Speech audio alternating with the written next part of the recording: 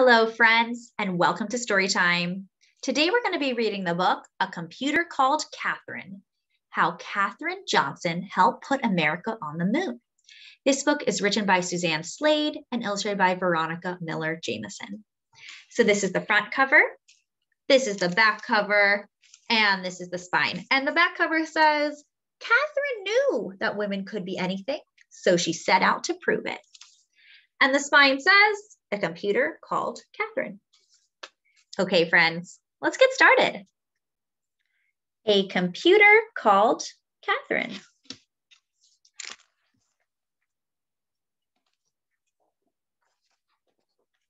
This is the title page.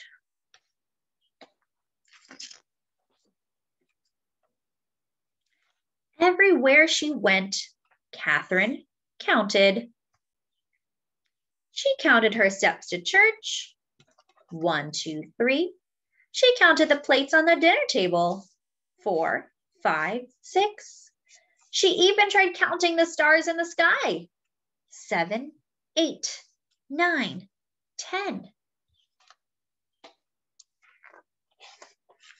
Most important of all, Katherine counted the days until she could start school.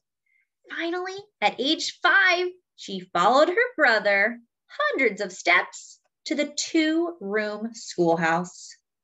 An excellent student, Katherine devoured thick books and added numbers at the speed of light. So the teacher decided she would skip first grade and start in second. But Katherine was such a fast learner, she later skipped fifth grade too. And before you could say mathematician magician, she was a grade ahead of her older brother.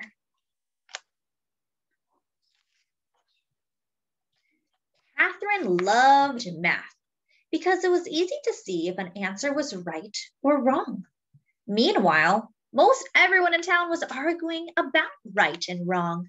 Some people said it was wrong for children with different skin colors to attend the same school. Others said it wasn't right for women to work at the same job as men. Their arguments seemed wrong to Katherine, as wrong as 5 plus 5 equals 12. She believed everyone should be treated the same. So she kept working hard in school and she dreamed of a future when all people would have equal rights.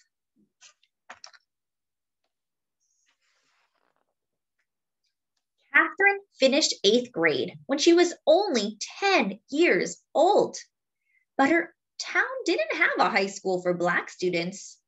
Determined to keep learning, she counted the dusty miles, 120 in all, as her family moved closer to a school she could attend.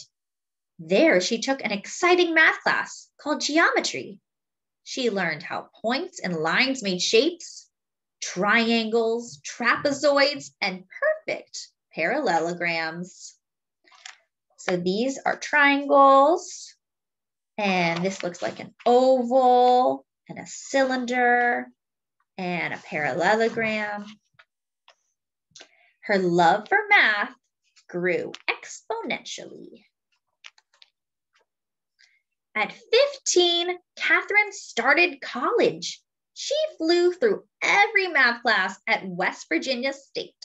So a professor taught harder classes just for her and advanced geometry. She plotted points on a graph when she connected the dots, they created a beautiful U-shaped curve called a parabola. It was love at first sight. After graduation, Katherine began to be a math teacher. Back then, people said women could only be teachers or nurses. Katherine knew that was wrong, as wrong as 10 minus 5 equals 3. She believed women could be anything scientists, lawyers, or mathematicians. So she set out to prove it. Katherine discovered a research center in Virginia that was hiring women mathematicians. They were called computers because they made calculations that helped the men engineers design airplanes and flight plans. This is called Langley Aeronautical Laboratory. To Katherine, it added up to the perfect job. All day long, she punched buttons on a calculator, just like the other women. She solved long math equations, just like the other women. And she wrote answers on a huge data sheet, just like the other women. But Katherine wasn't like the other women. She asked questions, lots of questions. What were her calculations used for? Why were they important? How did her answers help design airplanes and flights? The men engineers noticed the woman who asked intelligent questions and how quickly she solved difficult math problems. So they asked Katherine to join their space team. Its mission was to send America's first astronaut into space. Katherine said yes.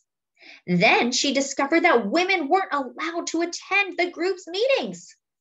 She knew this was wrong, as wrong as 5 times 5 equals 20, because actually 5 times 5 is 25. So she asked if she could go. Women don't ever go to those, the engineers replied.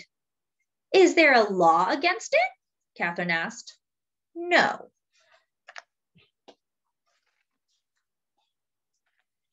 So Katherine showed up to the meeting, ready to work. Astounded by her geometry skills, the team asked her to calculate when America's first space flight should blast off. Katherine agreed, but first she asked questions like where should the rocket splash down? How high should it fly? When should it land? With that information, Katherine carefully computed the rocket's flight path, a beautiful U-shaped curve. Next, she worked backward to figure out the time it should blast off. Then she began counting the days until the launch.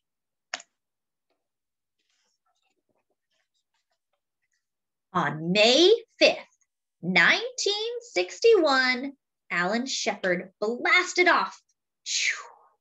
Following Katherine's flight path, he soared into the silvery sky. And 15 minutes later, he splashed down in the Atlantic Ocean, right on schedule and right on target.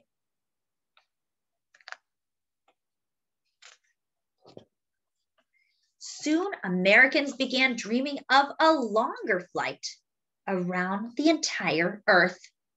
To figure out the math for this long, complicated trip, engineers decided to use their new room sized computer that worked much faster than people. But astronaut John Glenn trusted Katherine more than a machine.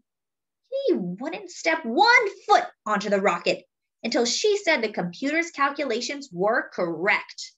Happy to help, Katherine checked every number. On February 20th, 1962, John Glenn became the first American to orbit Earth.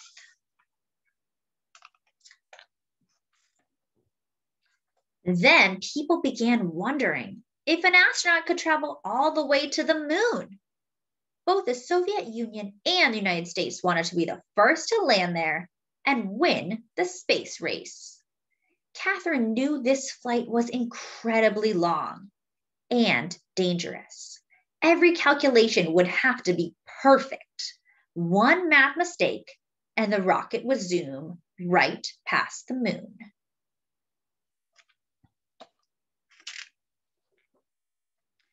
As NASA's computer hummed and computed a flight path to the moon and back, Katherine went to work too, double checking the machine's calculations. But this was the most complicated geometry problem she'd ever seen. One of the points, the spacecraft was flying incredibly fast. Here it's 2,040 miles per hour. And her target, the moon, was constantly circling Earth while spinning. Okay, so it's spinning at 10.3 miles per hour.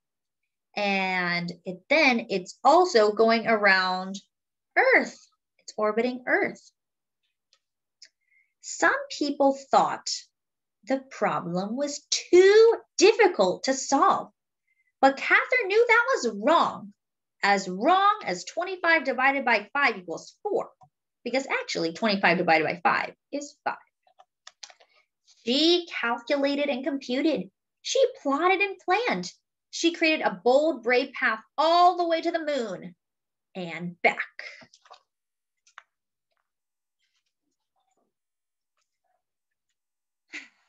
Ten, nine, ignition sequence starts. Heart racing. Katherine leaned close to the small television screen. Seven, six, five. She held her breath as powerful flames exploded on the launch pad. Four, three, two, one, lift off.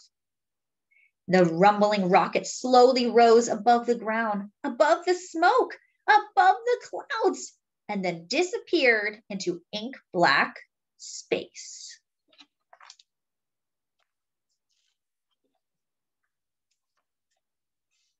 Four days later, as Neil Armstrong took his first steps on the moon, Katherine smiled and began to count.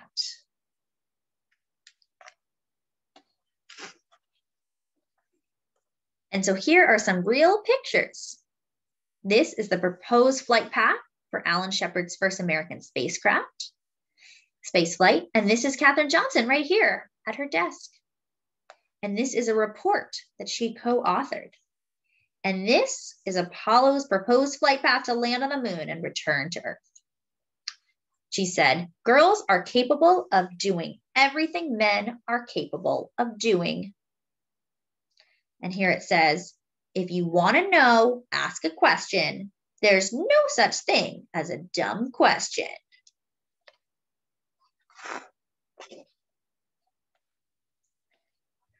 Here's the rocket. And here is a picture of Suzanne Slade. She's the author. And this is Veronica Miller Jamison. She's the illustrator. The end. So this book was called A Computer Called Katherine. Thanks for coming to Storytime, friends, and I'll see you next time.